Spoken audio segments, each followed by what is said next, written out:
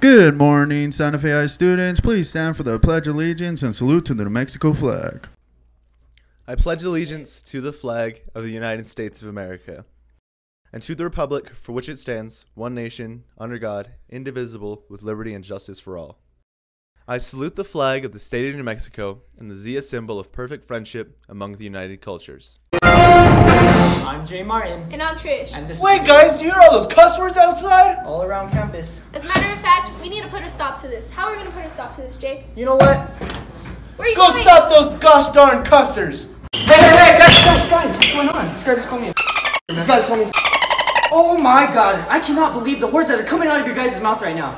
Did you know bad words leads to violence, and violence leads to you guys ruining your lives? You know what? You're right, Jay Martin. Yeah, it's okay.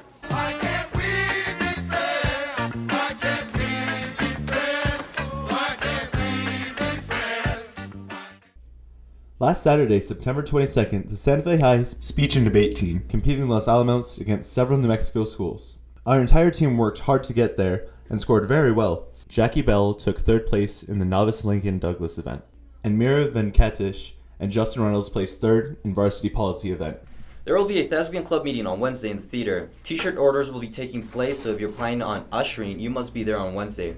We will also be discussing potential fundraisers. See you there. Boxing Club Interest meeting in the Lucas Room BC 103 Monday, October 1st and Wednesday the 3rd during lunch. If you're interested in joining the beginner's course, plan on attending at least one meeting. Today in the College Plaza, we will have Berkeley at 9 a.m.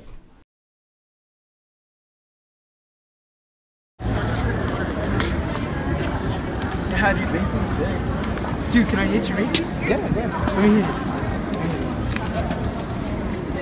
Then we have that. What is this? It's an e-cig. You can't be having this on campus. Oh, Look, miss, I'm sorry, but that's fine. Oh, it's mine now. Don't bring e-cigs to school, kids. Vaping's bad.